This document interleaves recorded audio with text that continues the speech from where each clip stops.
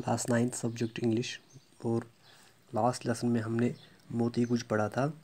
ये एक स्टोरी है किसके मुतलिक? एक हाथी के मुतलिक, जिस हाथी का नाम है मोती कुछ और इसे हाथी को जो ड्राइव करता है, इस हाथी का महूद जो हाथ था, उसका नाम क्या था? दीसा। तो इन दोनों की ये स्टोरी हमने लास्ट क्लास में पढ़ी थी।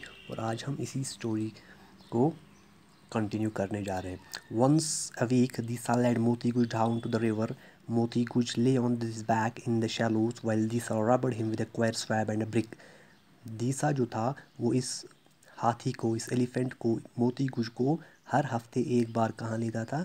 हर हफ़्ते एक बार दरिया पे लेता था, ताकि वो इसकी साफ़ सफ़ाई कर सके। इसकी साफ़ सफ़ाई के लिए उसने क्या रखा था? एक क्वायर स्वैब रखा था और एक ब्रिक रखी थी, एक ईंट रखी थी और एक क्वायर स्वैब जिससे ये इसको स्वाफ करता था। Moti Guj never mistook the pounding blow of the brick और smack of the coir swab that warned him to get and turn on the other side तो ये इसे क्या करता था? जब ये एक साइड से साफ़ होता था तो ये इस ब्रिक से इसे ज़ोर से मारता था और मोती गुज समझ जाता था कि मैं एक साइड से साफ़ हो चुका हूँ और मुझे अब टर्न करना है ऑन द अदर साइड ताकि मोती ये दिशा मेरा जो मास्टर है, वो मुझे उस साइड से भी साफ़ करे। Then Deesa would look at his feet इसके बाद दिशा क्या करता था? उसके पैर देखता था कि कहीं उसके पैर में कहीं कोई चोट तो नहीं आई है, कहीं कोई गंदगी तो नहीं है।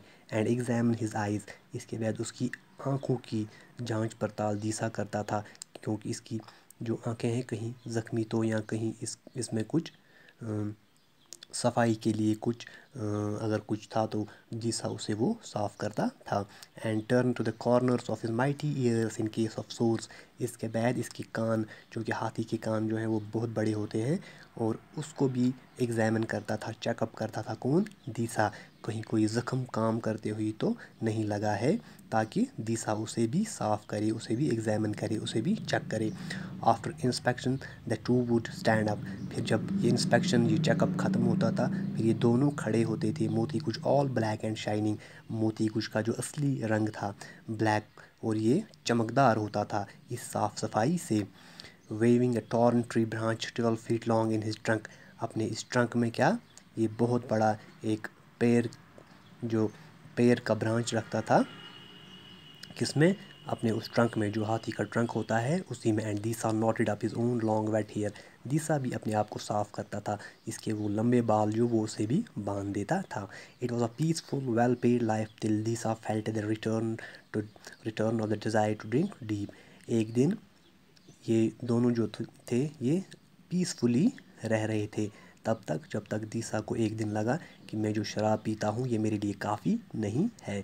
मुझे इससे ज़्यादा शराब पीनी है।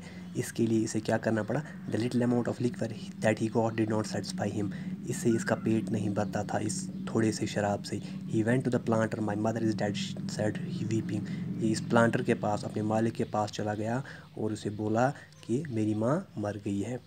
She died on the last plantation two months ago and she had died once before when you were working for me, last year said the planter who knew something of Disa's ways लेकिन ये planter जो था इसने इसका झूठ पकड़ लिया इसने इसे बोला कि आपने ये झूठ मुझसे पहले भी बोला है और आज आप फिर से मुझे ये झूठ बता रहे थे उसे पता था कि दीसा को जब यहाँ से छुट्टी लेनी होती है जब इसे कहीं जाना होता है तो ये मुझसे अपनी माँ के बारे में गलत बोलता है कि वो मर गई है।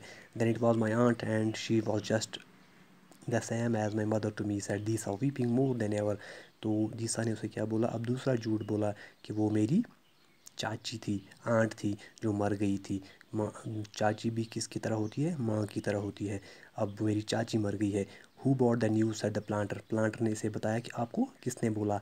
The post said Disa Disa ने बताया कि मुझे थ्रू पोस्ट पता चला है कि वो मर मर गई है।